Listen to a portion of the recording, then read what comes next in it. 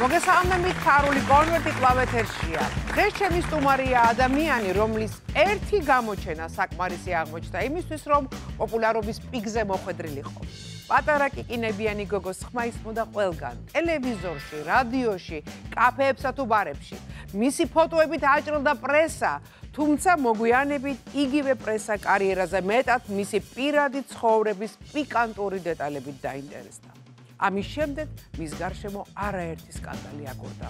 როგორ ცხოვრობს დღეს და რა უშლის ხელს პირადი ცხოვრების აწყობაში? ამ თემაზე დღეს მომღერალი თიკა ჯამბურია ისაუბრებს. გამარჯობა თიკა.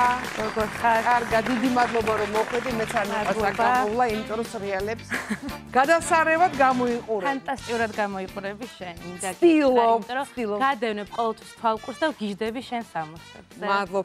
ეს არის ლოლა კრეატივის მიერ შექმნილი კაბა სპეციალურად ჩემთვის და დათვნიევიჩა. ულამაზესია. მადლობა. ჩვენი თამაშის წესები უნდა გაგაცნო. ეკრანზე ხუთი თემის სახელწოდება გამოჩნდება. თვითონ მათგანს ერთი მთავარი კითხვით დავა დავასრულებთ, რომელზედაც პასუხი შენ წესით არ უნდა გავიჭirdეს, რადგანაც პასუხი შენი ბიოგრაფიიდან არის. თითოეული კითხვა არის 300 ლარად შეფასებული. აი, ბოლოში კი ფარული კონვერტი გელოდება. ამ კონვერტში სტუბრის ცხოვრების ყველაზე გასაიდუმლოებული ამბის შესახებ წერია. ისურვებს თუ არა ამ საიდუმლოს გამხელას და 5000 ლარის მოგებას, ეს თავად სტუმრის გადასაწყვეტია. ძალიან ნერვიულობ. ნუ ნერვიულობ. კარგი. მოდი ნახოთ თემები ეკრანზე. ვარსკულავური ბავშვობა. ეჭვიანი ქალი. მედიაზე განაცხენებული. წონასთან მებრძოლი. შეშინებული და გაკაპასებული. დააჭირე ღილაკს ხელი. აჰა. პატარა თიკა ჯამბურიას მედია დიდი სითბოთი ანებირებდა და მისთვის კომპლიმენტებსაც არიშურებდა. თუმცა მოგვიანებით იგივე მედია მის პირად ცხოვრებაში არაერთხელ გაამხდარა პრობლემების მომტანი. ნამდვილად. ვიზე ხარ განაწყენებული? აა განაწყენებული ვარ ნამდვილად ყველაფერს აბსოლუტურად როგორც ნიუსი ისე აშუქებდნენ რაც არ უნდა გამეკეთებინა. აი სახლიდან გავიდა, ფეხი გადადგა, ყავა დაელია, აბსოლუტურად ყველაფერზე ნიუს წერდნენ. შენ ამბობ, რომ ვიღაცა ერთი ყავდა გადაკიდებული და ხომ არ გულისხმობ ნინო მჭედლიშვილს, პრაიმ ტაიმი ჟურნალისტ, ყველას თანდასრებით ვუგზალავ ჩემზე ერთი სიტყვის დაწერასაც კი. და ვაღიარებ ყველაზე მდაბიო ჟურნალისტად, რომელიც ადამიანის ნერვიულობით იწყობს კარიერას. დიდი მადლობა ნახვამდის თქვენი დიგეჭამური. კი, ნამდვილად იყო. რასერჩი გოგო. აა, სხვათა შორის, რამდენიმეჯერ შემხვდა მას შემდეგ ეს. რაც ეს სტატუსი დავწერდა, სიმართლე რო გითხრა, მართლა არ ვიცოდი სახეზე რომელი იყო და მე ჩვეულებრივი ურთიერთობა მქონდა ამ ხალხთან. მივესალმე, კონტაქტე და მე მითხრეს, რომ ნინო მჭედლი რა გამახსენდა, რომ ეს ის ქალი ყო, ხო, იმიტომ რომ ძალიან, იცი რა, ბინძურად ჩაერია და რაღაც აი არალამაზად მომექცა რა, რაღაც არა როგორ თქვა, აი, რის ფასად უღირდა უბრალოდ ადამიანის ნერვიულობა. მოდი ახლა ნინო ჭედლიშვილსაც მოусმინოთ ჩვენის ჩავწერეთ. მოგესალმებია, მიესალმებით იკას თქვენს ერთგულ მაყურებელს. ცოტა გამაკვირვა თქვენ მაზარმა მართალი გითხრათ, იმიტომ რომ მეგონა ეს თემა კიდევ თუ იყო აქტუალური საქართველოში, თუმცა აა ჩემს ნამოქმედად დარზე პასუხები ყოველთვის მაქვს, ასე რომ არც ამჯერად დაგზარდებით. რაც შეეხება თიკას და მის პირად ცხოვრებას, ზოგადად პირადი ცხოვრების საჯაროდ განხილვა ცნობილი ადამიანების მე არ გამომიგონია მინდა უთხრათ იკას. არც პრაიმ ტაიმს ეს სოფლიოში აღიარებული მეთოდია ჟურნალისტიკაში ასე რომ ამას ამაში ბრალს ნუდამდებს რომ ჟურნალისტი ვარ. მე მაპატიეთ რომ ჟურნალისტია. რაც შეეხება კონკრეტულ შემთხვევას მოკლედ მოგიყვებით რა მოხდა. თიკას ცხოვრებაში მას მერე რაც მისი ოჯახი სამწუხაროდ დაინგრა, გამოჩნდა ადამიანი, რომელთან ერთადაც ტიკა სოციალურ ქსელში ფოტოებს აქვეყნებდა. შემდეგ მას ერთ-ერთი გამოცემა დაუკავშირდა, ვისთანაც მან აღიარა, რომ ეს ადამიანი იყო მისი შეყვარებული. ჩვენც რა თქმა უნდა ამ ამბის გადამოწმება ვცადეთ, დაურეკეთ სწორედ იმ შეყვარებულს, რომელზეც არის საუბარი და მან ტიკა არც ისე სახარბიელო კონტექსტში მოიხსენია, თქვა რომ არანაირი შეყვარებულები ისინი არ არიან და თიკა ამ თემაზე იმიტომ აპელირებდა რომ თიკა იყო შეყვარებული ამ ბიჭზე. აა ეხლა მე თქვენ გეკითხებით ჩვენ ამ კომენტარის გამოქვეყნებით თიკასთვის კარგი გავაკეთეთ თუ ცუდი. და მაშინ როცა თიკა ჩვენ დაგვემუქრა რომ თუ ამ კომენტარს არ ავიღებდით საიტიდან ის აუცილებლად გვიჩივრებდა სასამართლოში, ჩვენ მას გადავუგზავნეთ voicemail-ი, ანუ სატელეფონო ჩანაწერი, სადაც სწორედ ეს ბიჭი ამ სიტყვებს იმეორებდა, რომელიც მე ახლა თქვენ გითხარით. მინდა რომ ვკითხოთ იკას, რატომ არ გვიჩივრა მაშინ სასამართლოში თუ ეს ყველაფერი ჩვენ მოვიგონეთ. მადლობა ნინო. რატომ არ უჩივლე?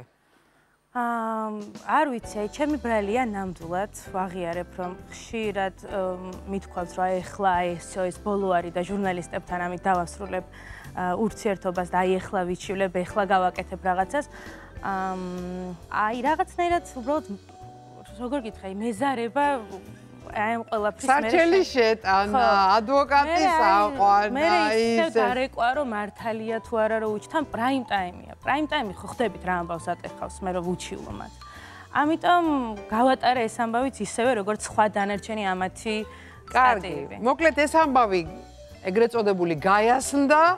შენ ნინოზე აღარ ახარ ნაწყენი და ეს ყველაფერი გავიარეთ ხო? ყველაზე მტკივნეულად მაინც რომელი სტატია გახსენდება ეს? აა ესეც ძალიან მტკივნეული იყო ჩემთვის ნამდვილად და იყო როდესაც გავიგე პრაიმ ტაიმის საშუალებით. ვინ იყო ჩემი ქრის ყოფილი ქმრის თუ? ყოფილი ქმრის გოგო ასე რომ ვთქვათ პარალელურად არ მინდა ის სიტყვა ვახსენო. და მის შესახებ დეტალური ინფორმაცია ეწერა. ამათგან გაიგე? ამათგან გავიგე აუ რამძიმია ამათგან რო გაიგე?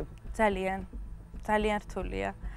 და თან მაშინ ნინა დღეების მყავდა თითქმის ახალი სამშობიაროდან ახალი გამოსული ეს ყველაფერი ერთად სიახლე იყო ჩემთვის და სტრესი იყო რაღაც არანორმალური აი ეგეთ სიტუაციაში კი უნდა დაიდო მართლა ჰოლივუდი და ამერიკა ხომ არა ვარ და მილიონებს ხო არ გიხდიან რომ ესეთ რაღაცებს თან იცი რომ გოგო სამშობიაროდან ახალი გამოსული ეს უკვე ბოროტებაა მე თვითონ გითხავ პირდაპირ გეუბნები აი ხა ამ წუთას გულახდილად მოდის ეს ტექსტები.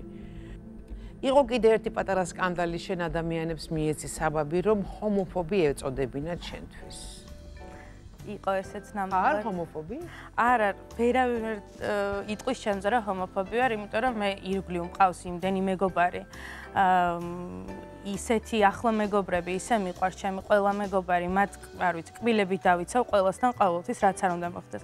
ამიტომ ეს სიტყვა მე ნამდვილად არ შემეფერება არავითარ შემთხვევაში და ნამდვილად ძალიან მწყინს, როდესაც ამ თემაზე რაღაცა ხას უსმევენ, ან თუნდაც ხუმრობით ამბობენ. რაღაცა არასწორად გაიგეს შენი ნათქვამი, ხო? აა ხო, მე უბრალოდ გამაბრაზეს კონკრეტულმა ადამიანებმა. გასაგებია? აა და მე მათ მათზე უბრალოდ რაღაც კომენტარში იყო წაკინკლავება. და რაღაც ცუდად მოიხსენი ეს ადამიანები და ეგრევე აიტაცეს რომ კომენტარი Facebook შენიმე კედლიდან კარგი და აიტაცეს და იყო მთელი ამბავი არ ვიცი სხვა თქოს რამოდენიმე კლუბში გამაშავეს ასევე დამირეკეს მე პატრონეებმა რამოდენიმე კაფე ბარის და შენ რახან ესე თქვი და რადგან თვლი რომ არასწორები არიან ეს ადამიანები ჩვენგან აქვს მე მეგონა მე ვიყავი სკანდალური და ერთი მოსიარულე სკანდალი რა თავიდან ამიტომ ყველას ეშინია ჩემ მეგობრები სულ თავს იკავებენ ან ფოტოზე ან კომენტარზე ყველაფერს ვაიმე ხარა იტაცონ ვაიმე ხარა ვაიმე ხა ჩვენც არა გვიტაცონ მაგრამ საბოლოოდ ხომ მოიხადე ბოდიში ხობო ბოდიში მოიხადე კი ესე მომიწია რომ იმიტომ რომ ეს ორი დღე იყო ჩემთვის უმძიმესი Facebook-ზე შევდიოდი და ალბათ აი რაღაც ათასობით ადამიანს ყავდი დათაგული სტატუსებზე, სადაც ჩემი ლანძღვა გინება იყო.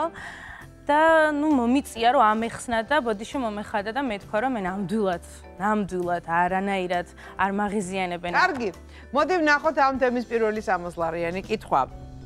2018 წელს გადაცემა აკუსტიკაში შედგა შენი სიმღერის სიყვარულის ვალსის პრემიერა.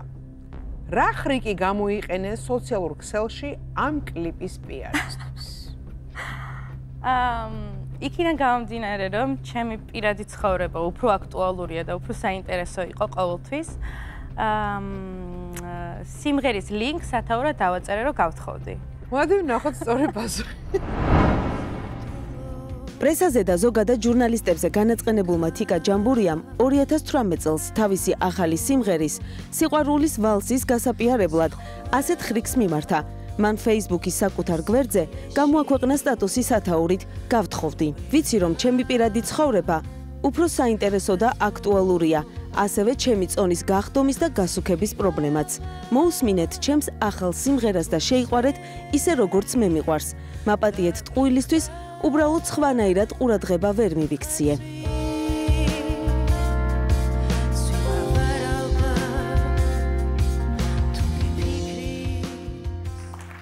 აბსოლუტურად სწორი პასუხია თიკა შენ დაწერე გავხორდიო და შენ მოიგე 300 ლარი ოჩა მოდი დავაჭიროთ ღილაკს ხელი და წინ წავიწიოთ ვარსკვლავური ბავშვობა. თიკა ჯამბურიას ვარსკვლავური ცხოვრება მას შემდეგ დაიწყო რაც მან 4 წლის ასაკში სიმფონიურ ორკესტრთან ერთად ავე მარია შეასრულა. აა ეს არის ჩემი საყვარელი თემა ზოგადად ჩემი ბავშვობა იმიტომ რომ არ ვიცი, ეს იყო რაღაც სასწაული წლები, ყველაზე ლაღი, ყველაზე ლამაზი, ყველაზე თბილი. თუმცა ხა 9 წლის ასაკში შესრულებულმა ჯეირანმა შენ უკვე საყოველთაო აღიარება მოგიტანა, ხო? კი. როგორ შეაჩერე არჩევანი ამ სიმღერაზე? ვისი იდეა იყო? იცი, ჩემზე მუშაობდნენ ყველაზე პროფესიონალი ადამიანები მაშინ ვინც კი არსებობდნენ და ალბათ დღემდე ესე არის ყავდა ფანტასტიკური პროდიუსერი ნატო დუმბაძე მუსიკალური პროდიუსერი და პედაგოგი რუსიკო ბახტაძე კლიპი გადაიღო დათო დოიაშვილმა სიმღერის ვერსია ეკუთვნის ნიკარაჭველს აა და მოკლედ აი ეს რაღაც საოცარი გუნდი რომელიც დაჯდა და შექმნა ეს სიმღერა და რაღაც გამომიყვანეს ვარსკვლავი არ ვიცი დიდი მადლობა მინდა გადავხადოთ. აი ეს პოპულარობა პოპულარობასთან გამკლავება უფროსებსაც უჭირთ და აი პატარა ასაკში როგორ უმკლავდებოდი? თუ ძალიან ბევრი დამცველი ყავდა გარშემო ვინც გიცავ? აი სულ ფიქრობ ხოლმე რომ ეხლანდელი ვარსკვლავები ეხლა ვინც არიან პოპულარობის პიკში საქართველოში აა ვისაც არ აქვს განცდილი 90-იანებში რა იყო პოპულარობა, ისინი ვერ მიხვდებიან ვერასდროს, იმიტომ რომ ეს იყო ნამდვილი ვარსკვლავობა. აა ჩვენ დანახვაზე გული მისდიოდათ, სახლთან რიგები იდგა, რომ გამოდიოდი სახლიდან ავტოგრაფებზე, ფოტოებზე, ჩვენ კონცერტებზე, არ ვიცი, დასწრებაზე, ბილეთები თვეობით ადრე იყიდებოდა, სახლის ტელეფონი არ ჩერდებოდა, აი, იმიტომ რომ არ ვიცი, რაღაც აი კატასტროფა ხდებოდა. დილიდან საღამომდე რეკვები რომ თიკას დაუძახეთ თიკასთან ლაპარაკი გვინდა. სკოლიდან რომ გამოვდიოდი თაყვანისმცემლების არმია მხდებოდა და ეს იყო აი ნამდვილი პოპულარობა. სკოლაში მარტო დადიოდი თუ მძღოლს დაყავდი? არა მარტო დავდიოდი. ნამდვილად გვერდზე მაქვს სკოლა. აა გვერდზე გაქვს სკოლა და რა ვიცი, მე ძალიან მიხარია, რომ რადგან მომღერალი მქვია და ცნობილი ადამიანად ვითვლები, ეს ყველაფერი გამოცდილი მაქვს. ეს ყველაფერი ძალიან კარგია, მაგრამ შენ პატარა ასაკშივე გამოსცადე შოუ-ბიზნესის, ქართული შოუ-ბიზნესის, ну, ყველა ქვეყნის შოუ-ბიზნესის პატარა ვერაგობები. კი. იყო ესეთი რამე? ნუ იყო, რა თქმა უნდა, იმიტომ რომ როგორც ყვები, აქედან გამომდინარე კონკურენციაც ძალიან დიდი იყო. არა მარტო ჩემხელა ბავშვებში, დიდებთანაც კონკურენტად ვითვლებოდი. იყო მაგალითად ერთი შემთხვევა, შემიძლია მოგიყვეთ, რომ აა კონცერტი იყო საკმაოდ დიდი ბათუმში, თბილისიდან ჩავედით. აა მე და რამოდენიმე ცნობილი მომღერალი და უკვე სცენაზე ასასვლელად ვემზადები და ერთ-ერთი კონცერტის ორგანიზატორი მოვიდა და იცით თქვენ სამწუხაროდ კონცერტიდან მოხსნილი ხართო მე უკვე. ვაუ. და უცებ ვერ მივხვდით რომ რა ხდებოდა რაღაცა და ძალიან კარგად მახსოვს ესე კაფეოთ რომ ლელა იყო წურწომია მაშინ ჩემთან ერთად და ეგრევე მიხვდა რომ ეს იყო ვიღაცის რაღაც სუდი ჩარევა და უთხრა რომ თუ თიკა არ გამოვა კონცერტზე მეც უარს ვამბობ კონცერტზე გამოსვლაზეო და აა ну რა თქმა უნდა ყველაფერმა კარგად ჩაიარა და ბრავო ლელა. შენთან ერთად იყვნენ შენი თაობის მომღერლები. ასაკით მე მგონი ერთნი ხართ მოდი ვნახოთ ჯერ პატარა კლიპი.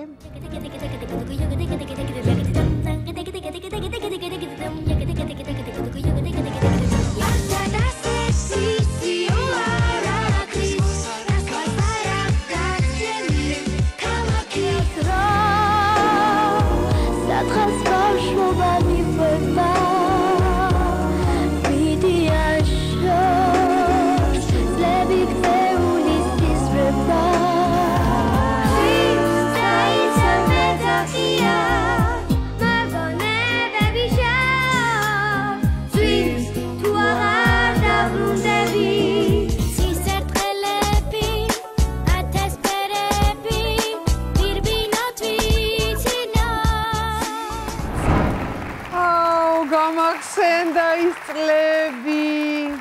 აი ხა ამ ბავშვებთან მაინც კონკურენტები იყავით და როგორი ურთიერთობა გქონდათ? იყო ინტრიგები და ამბები თუ მეგობრობდით? აა ჩვენ შორის არ ყოფილა, ჩვენ ყოველთვის ძალიან მეგობრობდით. დღემდე მეგობრობთ. ნინი ჩემი მეჯვარე არის, მე მარიკაშვილის ნათლია ვარ და ანუ ეს რაღაცა დღემდე ერთად მოვდივართ და მოვყვებით ერთმანეთს და აა როგორ შეიძლება ერთი ასაკის ვიყავით კონცერტებზე პირიქით გვიხაროთ ერთად რომ ვიყავით, იმიტომ რომ რაღაც დამალობანას ვითამაშებდით ვიღაცასთან, სცენაზე გამოვიდოდით. იქ რაღაცა გავერთობოდით ამიტომ ძალიან მეგობრობდით, ძალიან. და დღემდე მეგობრობთ. მაშინ რაც ქართული შოუ ბიზნესი ჩაკვდა, შეიძლება ითქვას, რომ თიკა ჯამბურიას ვარსკვლავური საათიც ჩაქრა? რა თქმა უნდა, კი, ვერ ვერ უარყოფ ამას, იმიტომ რომ საერთოდ სხვა რითმი მქონდა ცხოვრების, აბსოლუტურად სხვა ცხოვრება მქონდა და უცებ ეს ყველაფერი რაღაც ჩამოიშალა, დაალაგდა და დამშვიდდა. კარგი, ეხლა რითი საქმიანობ? აა, ეხლა რა არაფრით, ჩემი პატარა ბიზნესი მაქვს. შეგაკ პატარა მინი ჰოტელი. პატარა სასტუმრო მაქვს, ხო? თიკას აქვს მინი სასტუმრო, რომელსაც ჩვენ ვესტუმრეთ. მოდით ნახოთ როგორი დიასახლისია თიკა.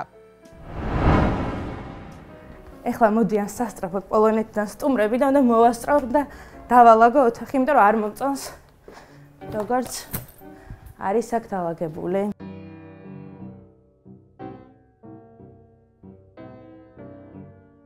საერთოდ ყველაფერი გავაკეთე მე. დიზაინს რაც შეეხება, ჩემი ხელით, ჩემი ძველი სახლის ავეჯი, ეს ჭაღი, ყველაფერი არის ძველი, უბრალოდ რაღაცნაირად განვაახლე. და გავაკეთე. აა ყველაზე მეტად მოწონთ ის რაი რაღაც ქართული სტუმარმასპინძლობა, რომ როგორც კი ხვდები და რაღაც კარგ და დადებით ემოციებს და ესეთ პოზიტივს ვახვედრებ, გიждდებიან ეგრევე და სულ კონტაქტზე არიან. საუზმეს მე ვუკეთებ, ღვინო გვაქვს homemade ანუ სახლში გაკეთებული ღვინო, რომელიც უფასო არის და გიждდებიან ამაზე სტუმრები. აივანზე არ მაქვს სამწუხაროდ ხედი მქონდა მაგრამ ნუ რა გაგუკეთეს განახეთ. ეს არის ჩემი აივანი.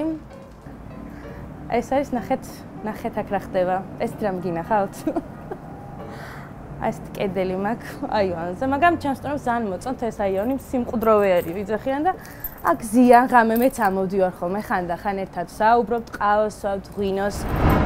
უფასო ღვინო მე არ გამიგია თიკა ნუანებიურებს სტუმრებს. წარმატებებს გისურვებ და მოდი ვნახოთ ამ თემის სამასლარიანი კითხვა. გახსოვს თუ არა რამდენი გადაიხადეთ 2004 წელს ფილარმონიაში ჩატარებული შენი სოლო კონცერტის დეკორაციისთვის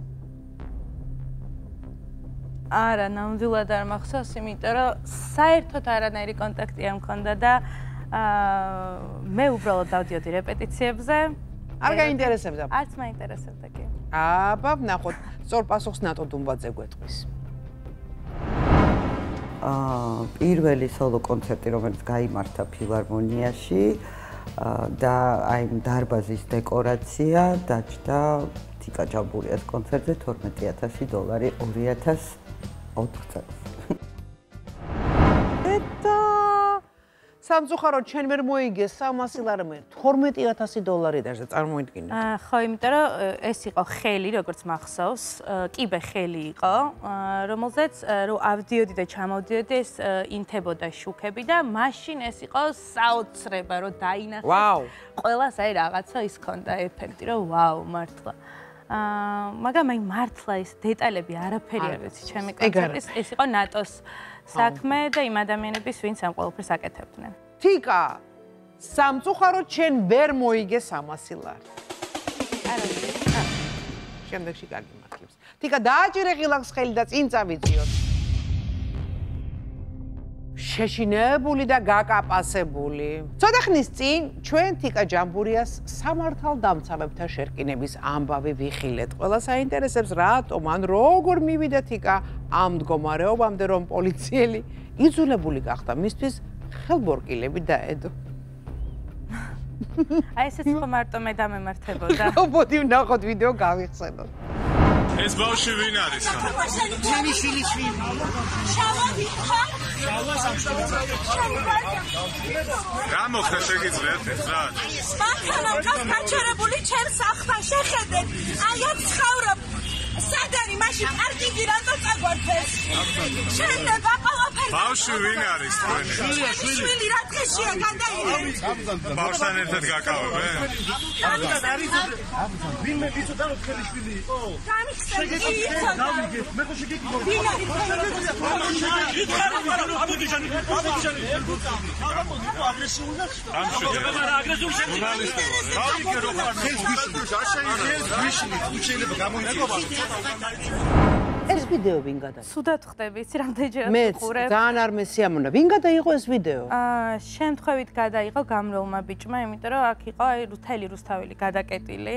შენ სახთა ხდება მოქმედება. ზუსტად ჩემი სადარბაზოს კარებთან ხდება ეს ამბავი და შემთხვევით კიდევ კარგი შემთხვევით ვიღაც ბიჭმა გადაიღო, იმიტომ რომ აუცილებლად დარწმუნებული ვარ, რომ ამასაც რაღაცა სხვა იარლიხს მიაკრავდნენ და იტყოდნენ რომ რაღაც სხვა მიზეზის გამო დამაკავეს და თიკა შენ დაარღვიე ხო მოძრაობის წესი ხომ ფაქტია ეს? ანუ ჩვენ არ ყავდა დაპარკინგებული მანქანა მამა ჩემმა უბრალოდ ველოდებოდით სახლთან გამოიარა გააჩერა ჩავჯექით და მივდიოდით წყნეთში. აი რა მოხდა ხო აი ეს ორი წუთიანი გაჩერება არ შეიძლება რომ ჩაჯდეს ადამიანი მანქანაში და გააგრძელოს თავისი მოძრაობა და უბრალოდ ეს გოგონა პატრულის თანამშრომელი მედავებოდა რომ იყო პარკინგი გაჩერებული მანქანა. მე მეუბნებოდი რომ ეს არ იყო პარკინგი, ეს იყო მომაკითხა ადამიანმა ჩავჯექი და მივდივარ. ანუ ჩვენი არ გვაქვს არანაირი არ ვიცი, ადგილი, სადაც შეიძლება მანქანა გავაჩეროთ. ვიცი მე ვიცი რა, თუ არის შემთხვევა, რომ თქვა მომიწია გაჩერება, ამ შემთხვევაში ვაჩვენებ ჩემი პირადობის მოწმობას, რომ მე ნამდვილად აქ ვცხოვრობ, აქ ვარ ჩაწერილი და მაქვს უფლება. ამ გოგონას მამაჩემმა თავისი გენერლის საბუთი მიაწოდა, რომელიც ძალიან უხეშად დაუბრუნა მას. დედაჩემის პირადობის მოწმობა, რომელიც ასევე უხეშად დაუბრუნა. და აი ამ შელაპარაკების დროს არ იყო ეს ისე რომ მარტო ჩვენ ვიყავით აგრესიულები რა ნამდვილად. სხვათა შორის ეხლა მინდა ვთქვა რომ ზუსტად თქვენთან რომ მოვდიოდი აა ტაქსის მძღოლის შემხვდა რომელმაც მითხა რომ აბსოლუტურად იგივე გოგონა აბსოლუტურად იგივე რაღაც გაუკეთა და მუთხარი რომ აუცილებლად ვიტყვი თქვენზეც თქო ეხლა მივდივარ გადაღებაზე თქო მაგრამ ხომ არ შეიძლება რომ წინააღმდეგობა გაუწიო პატრულს კანონის მიხედვით? ჩვენ ხო მე არ გამიწერია ჩვენ ქვეყანაში ხომ კანონი კანონობს იქ იყო ესეც რომ მე მას დავარტყი, მე მას უყვირე საბედნიეროდ მათ ეკეთათ კამერები, რომლებიც დაფიქსირებულია რომ მე არანაირი შეწინააღმდეგება ან ყვირილი ან ზედმეტი დაარტყი. ხო, ესეც იყო უთქმა რომ დამარტყავ. ნამდვილად არაფერი არ მიქნია მსგავსი. იქნება აფექტში დაარტყი და არ გახსოვს. არა, კიდევ კარგი რომ არა.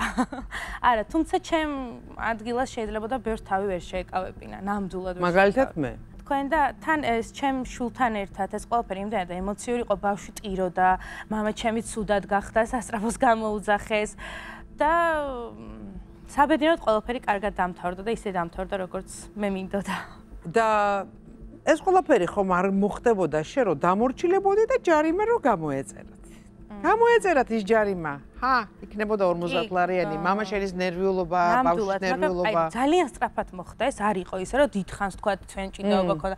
მე ვეუბნები რომ ჩვენ არ გვყავდა დაპარკინგებული მანქანა, ის მეუბნები რომ არ მაინტერესებს, მე ვეუბნები რას ნიშნავს არ გაინტერესებს. ხანდახან ჯობია რომ ჯარიმა გადაიხადო ხოლმე. მე როცა ვარ ხვევდა, მოდიან და მე მცნობენ და რაღაცა და დამაჯარიმეთ, დამაჯარიმეთ. კი. კი. ხო, ну ძალიან სამწუხაროა ეს ყველაფერი, რა თქმა უნდა, მაგრამ ჩვენ კანონმორჩილი ადამიანები ვარ და ჩვენ კანონს უნდა დავემორჩილოთ. ყოველ შემთხვევაში ვეცადოთ ჩვენ ქვეყანაში. ასე გავაკეთოთ. ნუ ძალიან ცუდი მომენტი არის, მაგრამ კარგია რომ ეს ყველაფერი დამთავრდა და ეხა ბოლოს და ბოლოს გენაცვალე, ამხელა ვარსკვლავი რო ხარ, შეცხოვ უნდა ყოფილიყავი ცოტა ვინონა რაიდერის თქვათ, ამათი თუ იმათ სიაში შეც მოხდი. ესეც საჭიროა. ესეც ძალიან საჭირო მომენტი იყო და ეხა მამაშენზე ვისაუბრეთ, რომ მამა ცუდად გახდა და ასე შემდეგ და მამაშენმა გენერლის მოწმობა რო ამოიღო. აა შენ ცხოვრებაში კიდე იყო ერთი ძალიან ძიმე ეპიზოდი, ოღონდ მე არ ვიცი რა ასაკის იყავი შენ მაშინ, როდესაც სამართალ დამცავებმა мама აიყვანეს და შენ შეესწარი ამ სურათს. ამეც ის იყავი. 13-ის. უკვე ვარსკვლავი ხარ, უკვე ცნობილი ხარ და რა მოხდა? აა, ზოგადად მამაცთან მაქვს ძალიან ესეთი ურთიერთობა ახლო. აა მამის გათამამებული ვიყავი ყოველთვის, მამასთან უფრო ახლო კონტაქტი მქონდა ვიდრე დედასთან უფრო მეგობრული ბავშვობაში. და აი რაღაც სხვანაირი ადამიანი იყო. ჩემთვის იყო მამა და მორჩა, მეტი არავინ და არაფერი. და ერთშვენიერ დღესაც ესე სასეინოდ მივდივართ მე და მამას გქონდა ძალიან ისეთი ცდილობდა რომ ჩემთვის დიდი ყურადღება დაეთმო, იმიტომ რომ საკმაოდ დატვირთული იყო, ისეთი დიდ თანამდებობებზე იყო და აა ერთ ადგილას ძალიან მიყვარდა ერთ-ერთი რაღაც კერძი და იქ მივდიოდით რომ ეს უნდა მიგვერთვა და ამ დროს ზუსტად იმ ადგილას იგივე მოხდა, გააჩერა მამა მანქანა. ზუსტად ეს ადგილია, სადაც ეს ამბავი მოხდა, უნდა გადავიდეს რაღაცა აიღოს და ამ დროს აი ისე მახსოვს თან რაღაც დეტალები არ მახსოვს, ამ დროს აი ბევრი მხრიდან ბევრი შეიარაღებული სპეცრაზმელი პოლიციელი უცებ აი ესე მანქანას შემოა შემოარტყეს ალყა და მოხმოხდი მანქანაში მე მარტო. როგორც შენი გოგო. როგორც ჩემი გოგო, ხო, აბსოლუტურად იგივე მოხდა. ამიტომ არის ეს ჩემთვის რაღაც ძალიან მძიმე თემა. რაღაცა დეჟავუ გათამაშდა იმ დღეს იგივე. და мама ჩასვას მანქანაში, უხსნიანად ხო ხართ დაკავებული აყვანილი რაღაც რაღაცა, მე ვზივარ უკან, არავინ ყურადღებას არ მაქცევს.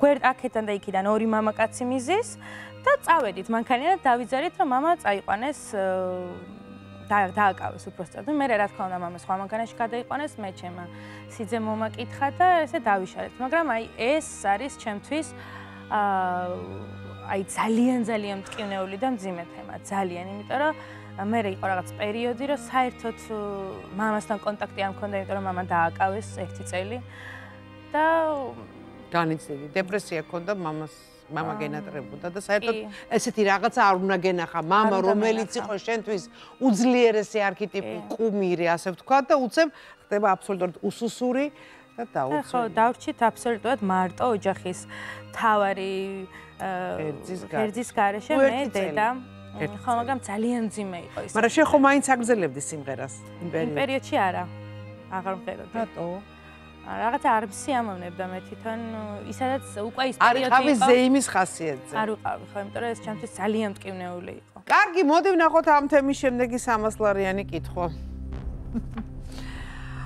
საქართველოს კანონმდებლობის მიხედვით პოლიციის კანონიერი მოთხოვნისადმი დაუმორჩილებლობა ისჯება 173 მუხლით, რაც ითვალისწინებს ფულად ჯარიმას ან ადმინისტრაციულ სასჯელს. იცი თუ არა კონკრეტულად რამდენი დღით პატიმრობას ითვალისწინებს ეს მუხლი?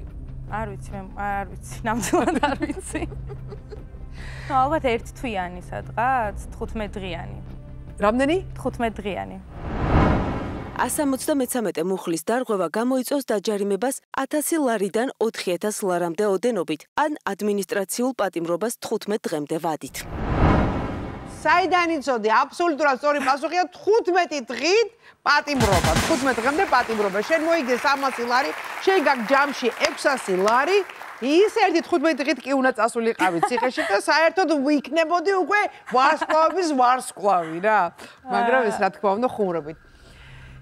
კარგი თიკა. მოდი წინ წავიწიოთ და დააჭერე ღილაკს ხელი. აა საყვარელ თემას მივადეგი. წონასთან მებრძოლი. რას, რას და ჩემ წონას ვერ ამიგზალა თქვენ თვითონ ჭარბწონიანო. ის მიმართი ამ სიტყვებით. არ მახსოვს, არ მახსოვს, მაგრამ აი ეს ჩემი წონა არის ახალხო გარჩევის თემა მუდმივად. აი ეხლაც დიეტაზე ვარ გჯერათ, მე ვარ ადამიანი, რომელიც სულ დიეტაზე. სუქშია? კარგი. მიყვარს რა გემრიელი საკვები. მოდი როცა არა დიეტაზე ხარ ერთი მე ვიწყებ კალორიების ჩამოთვლას. ეხლა უნდა ნახო რამდენს კალორიას იღებ დღეში. დილას რითი საუზმო რა სჭამ მე მინდა თქვა ისიც რომ ერთი წელია ხორცი არ მიჭამია იმიტომ რომ გადავწყვიტე რომ ვეგეტარიანელი გახდე? ну დაახლოებით ხო? არ ვთვლი რომ ეს ვეგეტარიანელობა არის მაგრამ უბრალოდ რაღაც ჩემი პატივისცემა ცხოველებისადმი ესე გამოხატო. სხვათა შორის მეც ესე ვიყავი 3 წელი, მაგრამ ქათმის ჭამა დავიწყე და ეგეც უნდა შევწყვიტო.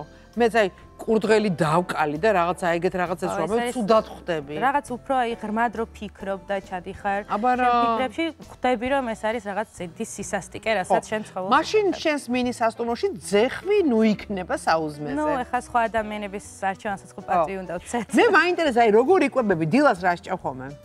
დიეტაზე როცა ხარ არა ისე? ანუ აი ძალიან ცუდი კვების რეჟიმი მაქვს. საუზმე საერთოდ არ მაქვს მაგალითად. ცუდია. ვიცი რომ ცუდია. მთელი დღე სულ რატო მაქვს ეს წონის პრობლემა ხვდები. მთელი დღე ვცდილობ რომ არაფერი არ მივიღო და გავქაჩო ისე რომ არაფერი არ ვჭამო და სხვა რო კმაყოფილი ვარ ჩემ თავთან დღეს არაფერი არ მიჭამე და მოდის საღამო საათები და მოდის ჩემი დიეტის დარღვევის დროც. აა ყოფილა ბევრჯერ შემთხვევა რომ ძალიან გამხდარო არ ყოფილვარ ისე მწონაზე რაც უნდა ვიყო. მაგრამ ნუ აი ადამიანი ვარ, მეც მაქვს ნერვები, ხანდახან არ მაქვს ძალა მაგალითად, რომ ისედაც რაღაც ბევრ რაღაცაზე ნერვიულობ და აი მოვიკლო თქვა ეს სიამოვნებას. მაქვს ჯანმრთელობის პრობლემას. მაინც ამით ხარ დაუდგები და ვიტყვი, რომ იცით რა ხალხო მე ჯანმრთელობის პრობლემა მაქვს, ბევრ რაღაც მედიკამენტს ვიღებ, რაღაც პრობლემები მაქვს და არ შემიძლია ამ ჯერად, ამ ჯამად რომ ვიყო გამხდარი. ხო, ყველა ადამიანს როგორც არ ექნება ლურჯი და მწვანე თვალები, ესე ვერ იქნება ყველა ადამიანი მაღალი, ტანადი და გამხდარი. ყველას აქვს უფლება იყოს ისეთი, როგორიც არის, ხო? არავის საქმე არ არის, აბსოლუტურად გეთახმე, ვინ რამსის კი არის და როგორი არის, თავარი არის, რომ ადამიანმა ეს ადამიანის დაბალ ინტელექტზე მიუთითებს, ვინც ამაზე ხას უსმოს და ძალიან ხშირად ვიცავ ხოლმე იმ ადამიანებს, ვინცაც ჩემ ჩემნაირი პრობლემა აქვს, იმიტომ რომ ჩემს უკან ხო ბევრი გოგოები დგანან, ვისაც წონის პრობლემა აქვს, ეს თბილ საქართველოსში განსაკუთრებით რაღაც არა, ეს პრობლემა არ არის, რას ლაპარაკობ, გადასარევად გემრიელი გოგო ხარ. ეხლა შეიძლება ეკრანზე ცოტა ვსუქნები ვჩანო ნენდა შემოვა. აი გემრიელი გოგო ხარ. სიმართლე გითხრათ, არ მქონდა პრობლემა და არანაირი კომპლექსი არ მქონდა.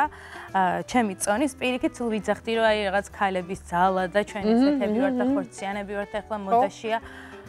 და რაღაც ბოლო პერიოდში იმდენად შემოტევა დაიწყო. ჩემზე რომ ვისაც უნდოდა რომ რაღაცა თქვა ტკივნეულ ადგილას ფეხი დაეჭირა ყველა ფუეს რამ სისქეა ძროხა ქონებში იხჩობა აი რაღაც საშინელი კომენტარები იწერებოდა. ჩემ წონასთან დაკავშირებით გეგონება რომ ჩემზე მსუქანი ადამიანი დედამიწაზე არ დადის და დამეწყო კომპლექსები.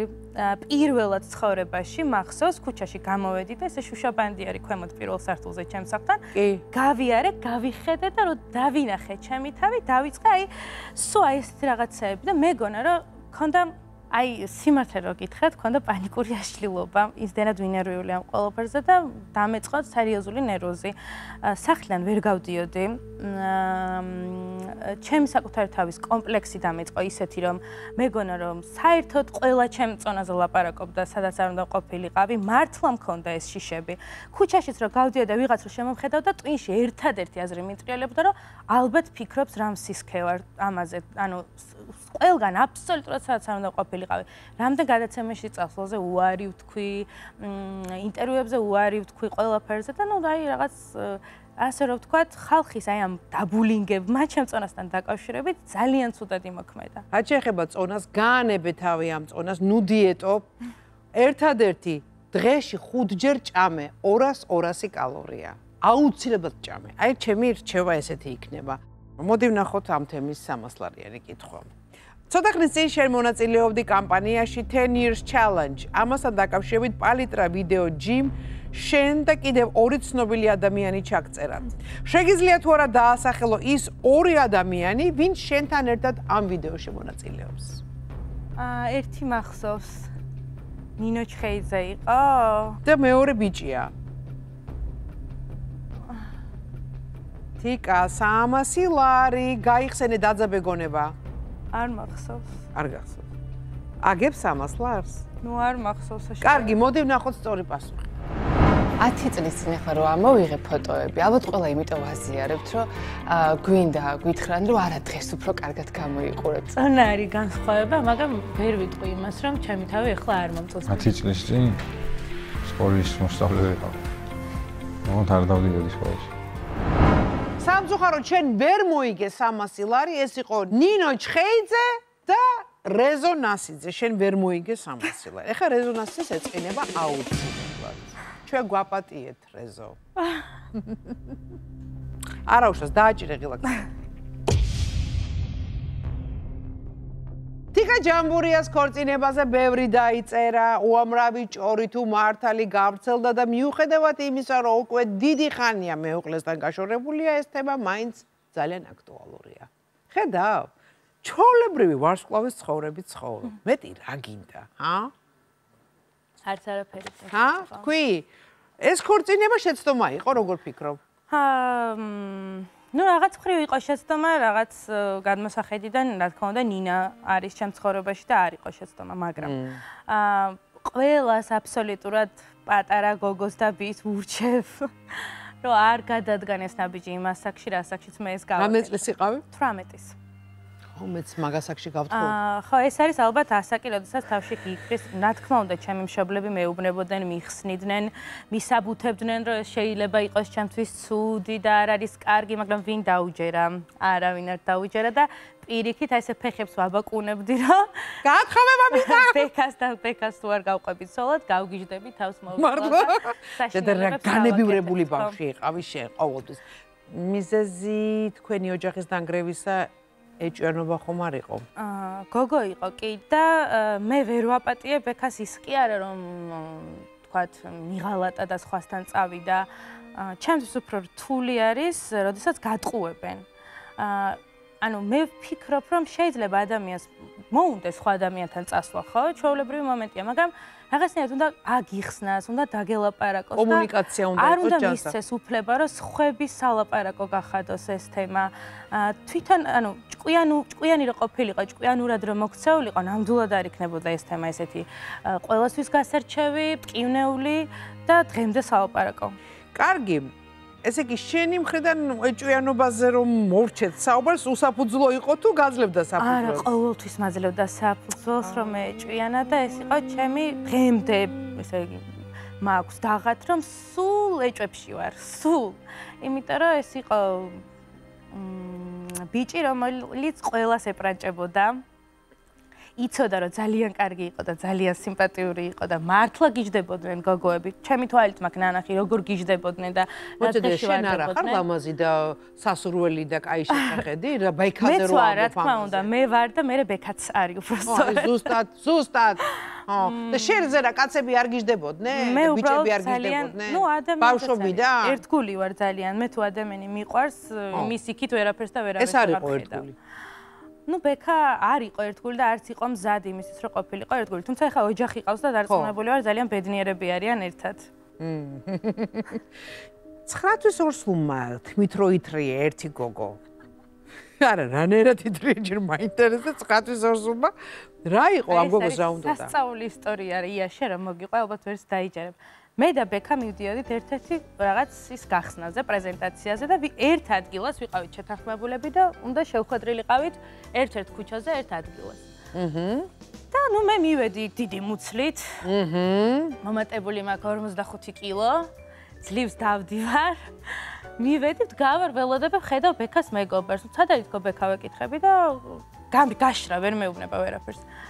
ამ ნუ მიმოვიხედე ირგვლივ და უცებ ხედავ რა ზუსტად სადაც და შევხვდეთ იმის მოპირდაპირე მხარეს კაფეში პირველ სართულზე რომელიც შუშიანია ზის ვიღაც გოგოსთან აი ესე ძალიან ლაღარ და ბედნიერია ბედნიერად ჩახუტებული და რა?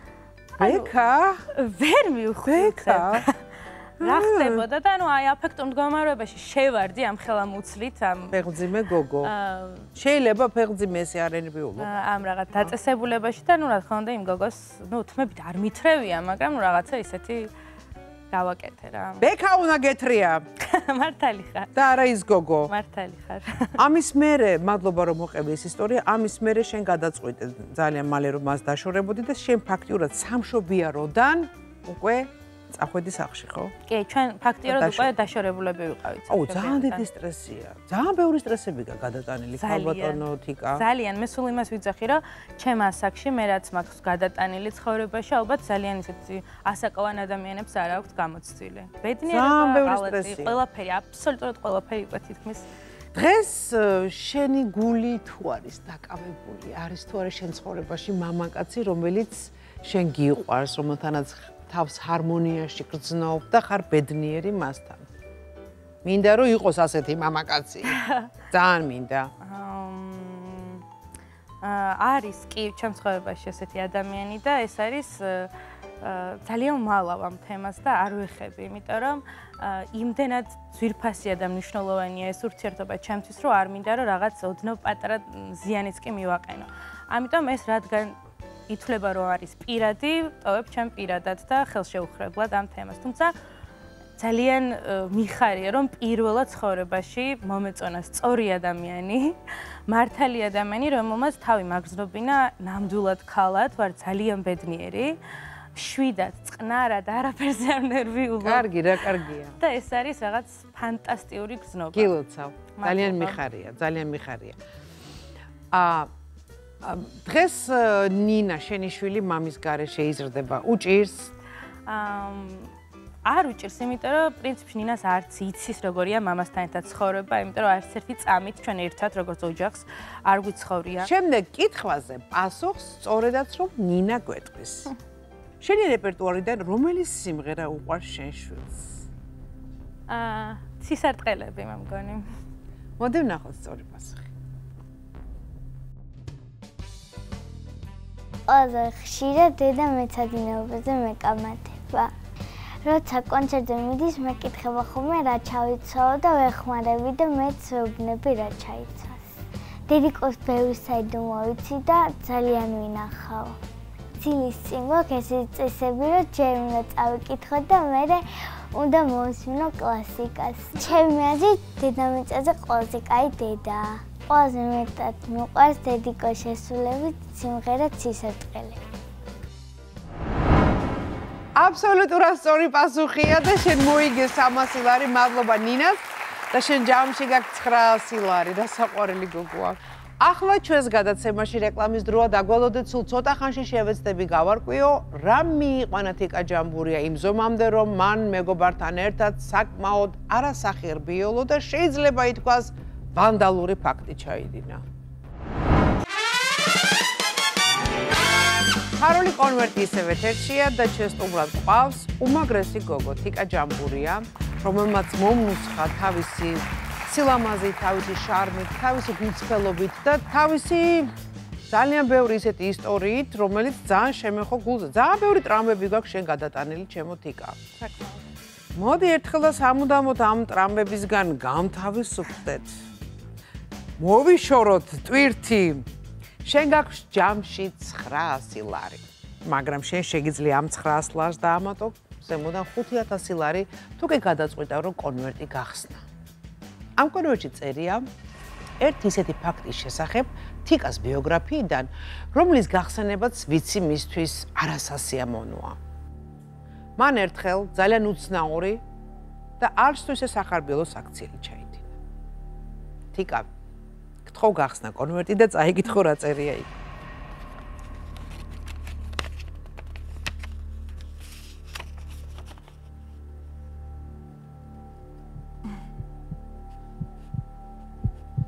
სათხარ რომ ამ თემაზე ისაუბრო, გინდა რომ ეს თემა ერთხელ და სამუდამოდ ამოიგდო შენი სისტემიდან. აა გაგვიმხილო, ფულიც მოიგო. როგორ ამიჩქარდა გული რა იცი? აგი დარწმუნებული ვარ. შენ ესეთი გოგო ხარ, ემოციური ხარ ძალიან, მაგრამ მიქრებ ღირდეს ამ თემაზე საუბარი. მაყურებელსაც ძალიან აინტერესებს. ნუ მე ხო მაინტერესებს და მაინტერესებს. ვისაუბროთ. ფიქრობ რომ აა ალბათ ალბათ არ ვიქცევი არასწორად რომ ამ კონვერტს არ დავწავ და გავხსნი. გახსნი კონვერტს? კი. Yes! გაიტანეთ სანთელი. აი ესე. ხელები ამიკაკავდა რა. აგი კანკავდა, ხედავ. დიდი მადლობა. აა, უნდა მოუყვე ხო ყველაფერი? შენ და შენმა საუკეთესო დაქალმა. 2013 წლის 1 ზაფხულის ცხელ დღეს ჩაიდინეთ ერთი უმსგავსო საქციელი. დაიწყე მოყოლა. ისეთი დიდი ისტორია არის საკმაოდ, მაგრამ ესე მოკლედ მოუყვები ყველაზე. ზა არ მინდა მოკლედ. გზლათ მინდა. აა და დეტალურად მინდა. ეს არის პერიოდი, როდესაც აა ბექას შემდეგ პირველად გამოჩნდა ჩემს ცხოვრებაში აი ამ დიდი ტკივილის დეპრესიების ძლივს გადავიტანე, მართლა ძალიან რთულად გადავიტანე მე, ანუ ჩემი ოჯახის დანგრევა, არა მარტო მე, ჩემო ოჯახმაც. და ამის შემდეგ ანუ რო გგონია რომ მორჩა გათავდა არასდროს არავის აღარ შეხვდები, ეს არის ბოლო და დასრულებული ამბავი.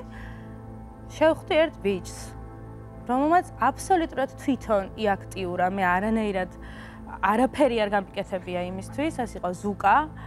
ზუკა ყალიჩავა და რაღაცნაირად ისე მოხდა, რომ აი ამ ძიმე პერიოდის შემდეგ დავუშვი და ჩემ ცხოვრებაში შემოუშვი ერთი ადამიანი. ზუკა ყალიჩა. აა, დიახ. და ძალიან გულწრფელი იყო ჩემი გზნობები ამ ბიჭის მიმართ. აა, მაშინ მეგონა რომ ეს იყო ის სიყვარული, რომელსაც თელი ცხოვრება ვეძებდი. თუმცა აი დღეს ხვდები რომ ადამიანი რომელიც ძალიან გულს გტკენს, ცუდად გექცევა, ეს არ არის რაღაც ქალებს გვიყვარს. აა რაღაც ისეთ როლში ყოფნა, რაღაც საწყალის როლში ყოფნა რა, რომ გვიყვარს თუ ხშირად გვიწევს ასეთ როლში ყოფნა. მმ, ალბათ ვიღაცებს კიდევაც მოწონთ ალბათ ეს რაღაც. საშინელება, როდესაც სულ ნერვიულობ, სულ ისტერიკაში ხარ, სულ გინდა რომ შეინარჩუნო, სულ აი რაღაცა ეს აი ეს რაღაც ცუდი არ ვიცი რა ქვია ამას. და ნუ ამ ბიჭთან სადღაც წელიწადი და ორი თვე მქონდა ურთიერთობა. და ეს ჩემი ხია გახსნელი ურთიერთობა ყველა მიცოდა ხო ამის შესახებ?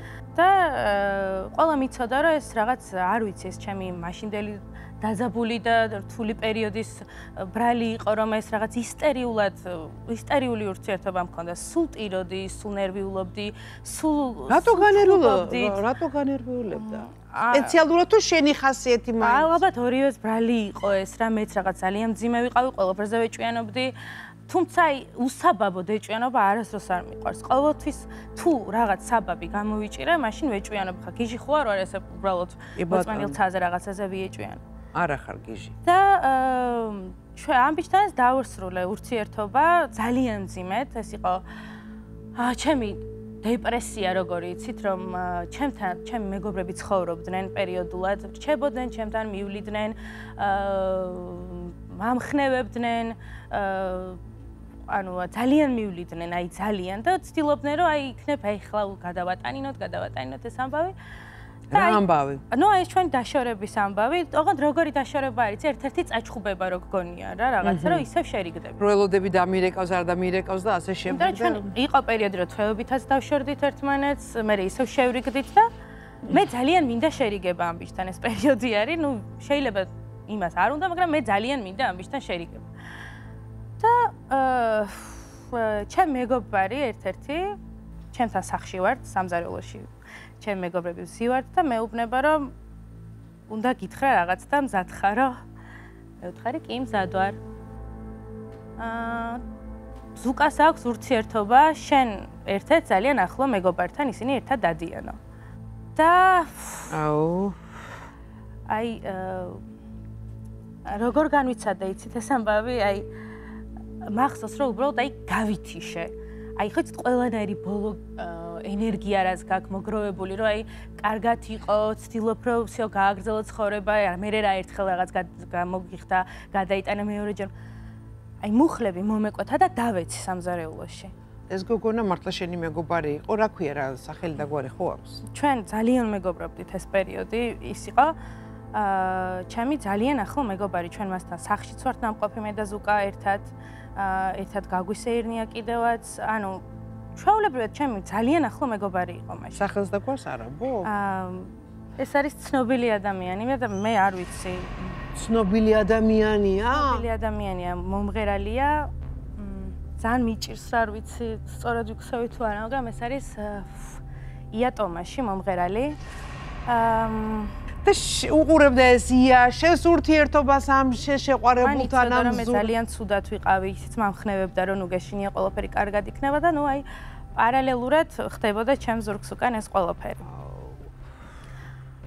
და აა მოვიქეცი გავაკეთე ის რაც აა ძალიან ცუდი არის ჩემი აზრით. რა? მე გეტყვი ცუდი გააკეთე თუ რა გააკეთე? მივედით მე და ჩემი რამოდენიმე მეგობარი უფრო სწორედ ესე უბრალოდ ჩემი მოსულიერების შემდეგ ვიჯექით და საუბრობდით რომ ზოგმა თქვა აუ ხა ამას გაუკეთებდი აუ იმას უზავდი ვაიმე ამას გაუკეთებდი და აა ერთადერთხელ მომინდა ცხოვრებაში, რომ მეც ვიღაცისთვის რაღაცა ცუდზე ცუდად მეპასუხა. აა და წავედით ღამე. ვიყიდეთ საღებავები და მის სახლთან სადარბაზოში დავწერეთ, რომ აქ ცხოვრობს ესეთი და ესეთი ადამიანი. აქ ცხოვრობს ბოზი. კარგი, იცი რა მაინტერესებს? შენ დაუჯერე შენ მეგობარს სიტყვაზე. ხო? რომ ისინი ერთად არიან. შენ თუ თვითონ ნახე მათი ურთიერთობა, რომ ისინი ერთად არიან, შეუსწარი, რაღაცა იყო, რაღაცა მესიჯები ამოქეკე, რაღაცა უსატკავე, ასე ვთქვათ, თუ აი, არც ერთს არ სიტყვაზე დაიჯერე. არც ერთს არ უთქვავს რომ ეს იყო ტყუილი. არც ერთს არ უთქვავს, რომ ეს იყო ტყუილი და არც ერთს დღემდე არ მოუნანია ეს აქციელი ჩემთან. აი, სულას და არც ამე ამ კონვერს ეხლა არ გავხსნიდი, რომ მე მეგრძნა, რომ ეს ადამიანები ამას ნანობდნენ, ან ერთხელ მაინც გულწრფელად მოსულიყო ჩემთან და პატიება ეთხოვან. ამ ყოლაფრის მე ისევ მე არ გამოვეყვანეთ გიჟი, არანორმალური, რომელმაც აი ესე ცფათ რაღაც მოიგონა და გააკეთა. ეს ამბავი ძალიან დიდი ხნის დავიწყებული მქონდა და საერთოდ არც მახსოვს რა როგორ იყო, მაგრამ მახსოვს რომ ძალიან მაგრად მატკინეს გული.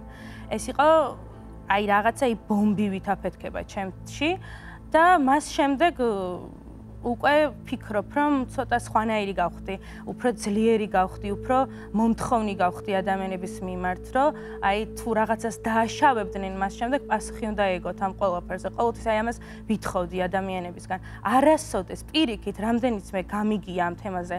საუბარი რამდენიც მოხდა რომ ყოველთვის იყო რომ გიჟია და ეჩვენება და გიჟია. ხო, ეს ესე არ ყოფილა. ორივემ ძალიან კარგად ვიცით, ყველამ ძალიან კარგად იცის რომ ეს არ იყო ტყუილი. დაგიდასტურეს, რომ მათ ქონდათ რომანი. აა ხო, მეგობრებთან, სხვა მეგობრებთან ეს იყო გარჩევის დიდი ამბავი და იქ ამბობდნენ, რომ ნუ აი მაურა სამწუხაროა. თიკა ძალიან დიდი მადლობა ამ ამბისთვის. იცი რა მინდა კითხო, ამ ზურას ეხა ყავს ცოლი?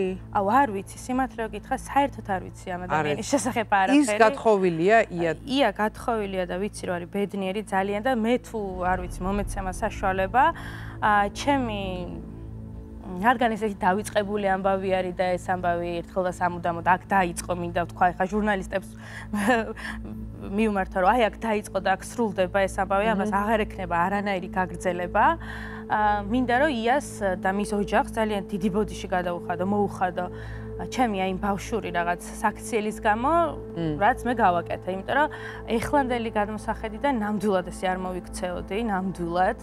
უბრალოდ ეს იყო აფექტური მდგომარეობა, ყველა ემოციის ერთად მოწოლა და აი როგორ მიბედავს ყველა ამას, მე აი ეს იყო უბრალოდ, რომ მინდოდა რომ ჩემიც რა ვიცი, შეშინებოდათ თუ ეგრძნოთ ტკივილი თუ აი რაღაცა ეგრძნოთ მათაც.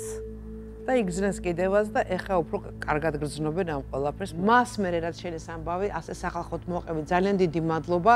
ჩემ წინაშე ზის უძლიერესი გოგო, რომელიც არავის არ მისცემს უფლებას რომ დაიჩაგროს და შენ აღარ უნდა დაიჩაგრო და აწინ ცოტა სამომავლოდ წარმატებებს გისურვებ და ძალიან кай ქენი რომ არ თქვი ვინ არის შენი ახალი შეყვარებული შეინახე შენთვის საიდუმლოდ იმიტომ რომ არ მინდა რომ თვალი გეცეს ნამდვილად ნამდვილად ესე მგონია და ძალიან დიდი მადლობა თქვენ ამ ყველაფრისთვის, იმიტომ რომ დღეს მე აქ იმდენ თემას შევეხედე, ის რაღაცებზე ვილაპარაკე რა. ამოალაგე და ამოალაგე.